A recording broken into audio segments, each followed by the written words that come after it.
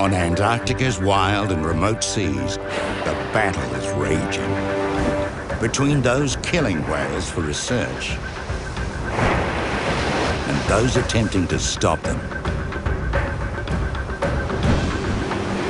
Now a daring team of scientists head into this Cold War zone to prove it's possible to research these great leviathans without harming them. You can know everything you need to know by not killing whales, and I strongly believe in that. Unlike Japan's lethal scientific whaling, this new breed of hunter pursues its target with technology, not deadly weapons. In a bold attempt to reveal the secrets of these mysterious, persecuted mammals.